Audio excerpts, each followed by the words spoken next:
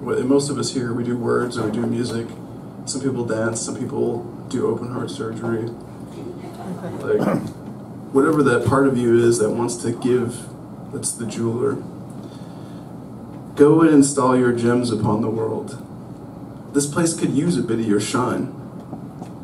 Polish and refine, measure and cut, and when you're ready, reveal your priceless treasures to us. Hang your painting in the halls of society. Sing your song at the intersection of activity.